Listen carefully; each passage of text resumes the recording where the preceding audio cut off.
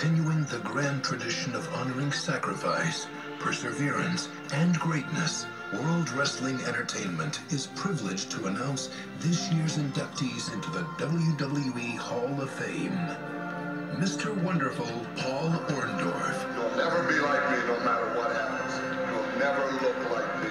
Who's got a face like Robert Redford? A mind like Albert Einstein? I am the most wanted man in professional wrestling today. The Iron Sheik. You know your Shiki always was ready, and is still am ready. Cameraman, zoom it. Nikolai Volkov. Mr. Volkov requests that you respect his singing of the Soviet national anthem. Cowboy Bob Orton. Right now is when you gotta get things done. You gotta work your way up. I don't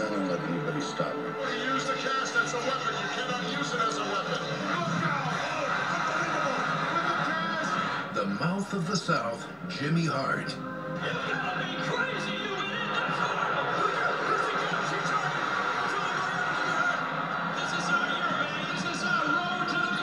The careers of these amazing athletes and entertainers will be celebrated at the 2005 WWE Hall of Fame induction ceremony at the Universal Amphitheater in Hollywood, California, the night before WrestleMania 21.